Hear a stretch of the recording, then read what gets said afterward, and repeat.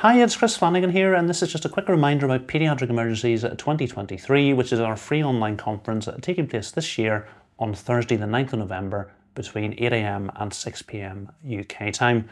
Now, this is going to be completely free to watch, there's no advance registration required. All you're going to need to do on the 9th of November is head over to Paediatric Emergencies on YouTube. I'll put a link to that in the description, and you're going to be able to watch the whole thing for free.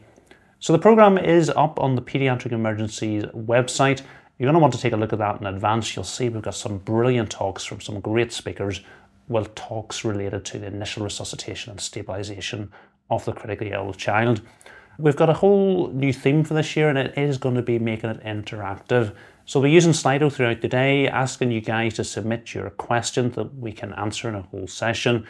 We're going to be stopping at various points through the different cases, asking you guys what you think we should do and going with the most popular answer. And you're going to determine what actually happens in that case.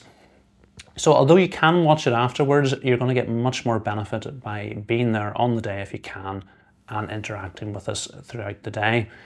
We've got a few different sessions this year. We've got some abstract presentations, pro-con debates, where we're going to be asking you guys to vote for who the winner is.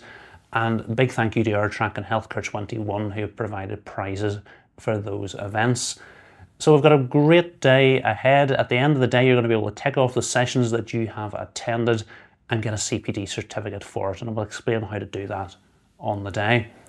Final thing to mention is we have a whole session dedicated to answering your questions. So if you have any questions about critical care, the initial resuscitation and stabilisation of the critically ill child, go ahead and submit those over on the Paediatric Emergencies website and we'll try and answer those on the day.